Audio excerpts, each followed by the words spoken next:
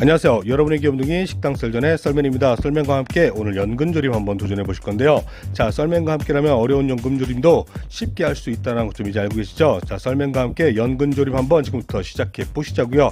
자, 썰맨 이렇게 연근 다 손실되어 있는 제품, 완제품 구매했습니다. 그런데 뿌리로 이제 껍질 까서 사용하실 분들이 계시기 때문에 0.5cm로 잘라주시는 게 포인트고요. 연근 자체의 아린 맛을 제거하기 위해서는 이렇게 물에다가 식초를 넣어서 이렇게 아린 맛을 제거하게 됩니다. 자, 제가 지금 준비된 연근은 약 1kg이고요. 식초는 지금 약 한 3큰술에서 4큰술 정도 넣어주고 약 한 30분 정도 담가두게 되면 아린 맛이 어느 정도 제거가 되게 됩니다. 자, 그래도 제거가 안 될 경우를 대비해서 자, 끓는 물에다가 이렇게 연근을 한 소끔 더 삶아주게 되면 연근에 있는 주, 주성분이 전분, 이 녹말이기 때문에 약간 누런 물과 함께 이 끓여진 그 물이 나오게 됩니다. 이때 한번 끓여서 버리시면 됩니다. 이렇게 버리시게 되면 연근의 아린 맛이 한층 더 제거가 되게 됩니다. 썰면의 포인트니까 테니까요. 이 점 꼭 기억해 주시고 한번 시작해 보시기 바랍니다. 자, 너무 오래 삶지 마세요. 약간 2, 3분 정도만 삶아 주시면 충분하게 아린 맛이 제거가 되고 쫀득한 식감의 연근을 즐기실 수가 있습니다. 어, 찬물에 한 소끔 연근을 식혀주게 되는데 자, 연근의 그 효능 있죠. 자, 어혈, 어혈 자극도 있고 이게 피를 멈추게 하는 기능 도 있고 피부 미용에도 굉장히 좋다고 합니다. 그냥 막 그냥 그냥 만병통치약이네 그냥.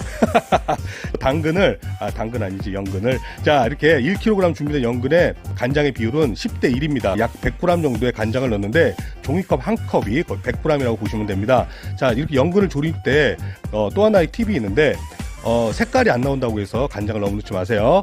자, 지금 넣은 건 생강이고요. 또 하나 당귀입니다. 당귀 생강 넣고 맨 마지막에는 어, 다시마를 한 장 넣어가지고 국물의 풍미를 조금 더 끌어올린 겁니다. 자, 이렇게 하면 거의 끝난 겁니다. 자, 이렇게 해서 졸여내면 뭐 얼추 끝나는 거예요. 자, 여기서 우리가 중요한 게 또 뭐가 있죠? 물엿하고 들어가야 되겠죠? 자, 물엿 들어가기 전에 썰맨에 포인트가 하나가 있습니다. 포인트가 뭘까요? 가르쳐 줄까?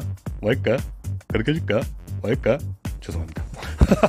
자, 이렇게 식용유를 어, 물엿 넣기 전에 넣게 되면 자, 물엿과 엉김이 조금 부드러워지게 됩니다.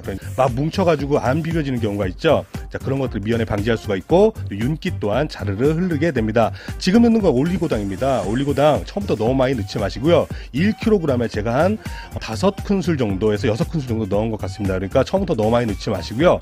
이 상태에서 이제 졸여 주시기 시작하시면 되는 겁니다. 간장 색깔이 뭐 나오지 않는다고 해서 지금부터 간장 넣지 마시고요. 자 이렇게 어, 건고추 준비해서 넣어 주셔서 약불에 졸여 주시면 되고 타지 않게 뒤적뒤적 해주시면 끝나는 겁니다.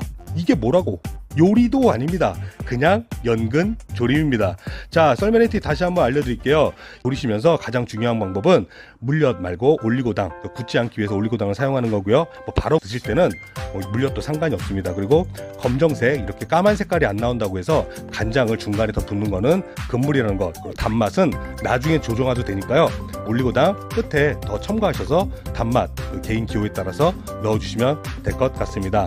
자, 연근 스테미너에도 좋고 영양소가 풍부한 그런 뿌리 식물입니다. 오늘 온 가족과 함께 연근 반찬 한번 해서 즐거운 식사 시간 만드는 건 어떨까요?